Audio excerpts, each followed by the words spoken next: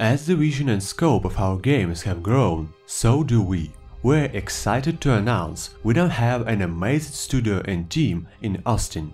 That's what you can read in Bethesda Game Studios official Twitter account posted at 9th March. Is this related with Elder Scrolls 6 or that completely new mysterious game from Bethesda Game Studios? Or is that something else we should not care at all? And why Bethesda announced that officially at all? Let's try to figure this out. First of all, what does that mean in general? New office is located exactly in Austin because that's a location of Battlecry Studios, which is a part of ZeniMax for a decent time. Battlecry Studios itself is not much famous in both good or bad meaning, its only big project was a game with the same name called Battlecry. Basically, Battlecry was going to be a free-to-play online game, some kind of steampunk action RPG made on pretty much Fallout-like looking engine. Development of this game was frozen decent time ago already and now it is obvious that it is cancelled, because Battlecry Studios is not an independent game studio anymore but a part of Bethesda Game Studios. The logical question here is the next, if ZeniMax simply de facto terminated a failed project and ended of its game studio's independency, why sense to make news about that? This is exactly why I think that's rather a good than a bad or completely useless news. If Bethesda Softworks, parent company of Bethesda Game Studios, simply wanted to terminate a failed project, they would do this silently, which is obvious. So logically, making a news article about that is a some kind of soft attempt to give some kind of sign to community. No, no, no, no, no, don't get me wrong, it is not because Todd Howard urgently needs more people to finish alpha version of Elder Scrolls 6 to present it on upcoming E3 conference. To understand what kind of sign it is, a bit of biography of lead developer of Battlecry Studios, Rich Vogel, or Rich Vogel if he's German. Anyway, if I spelled his name incorrect, please forgive me. After a little digging, you can find some an Austin Game Conference website. Rich Vogel has been doing game development for 20 years and has worked on both console and online games. He spent his first 5 years developing console games for Sega, 3DO and PlayStation.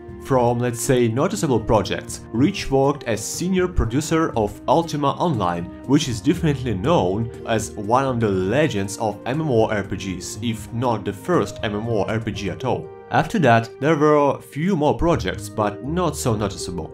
So, there are most noticeable facts about Rich. He knows something about online games and, what is actually more important, he is a veteran game developer, an old school one. So, Maybe ZeniMax just want Bethesda Game Studios to make Skyrim online to milk us even more after Special Edition and Creation Club.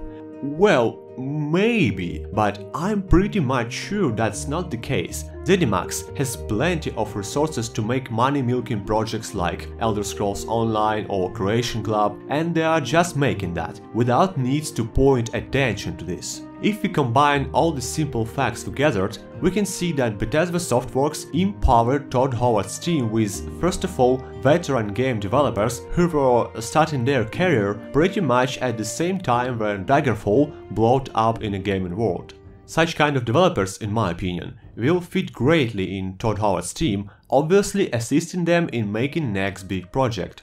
On the other hand, the fact that was announced in public at the most logical view makes a simple message like Guys, guys, we did not forget and we are working. ZeniMax clearly understand that decent amount of community knows that exactly Bethesda Game Studios team is those people who actually made Elder Scrolls series and that community is eagerly waiting for the new Elder Scrolls or maybe Fallout or at least simply the new IP, but done by Bethesda Game Studios not ZeniMax. Summarizing all said, news about Bethesda Game Studios expansion is definitely a good news. The actual team who gave us our favorite games is expanding, so what better in it?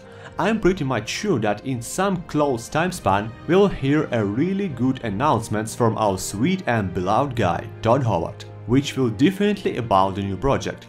Should we expect Elder Scrolls 6 to be officially announced really soon?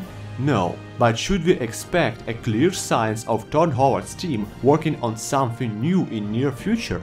absolutely yes, otherwise news about studio growth would be simply not published. Thanks for watching guys, write your own thoughts about this in comments, how do you think, what should we expect from Bethesda on upcoming E3 conference, and how close is the next game from Todd Howard's team. Don't forget to enable channel notifications and join our Discord to always stay in touch. Sinitar Gaming here, signing out.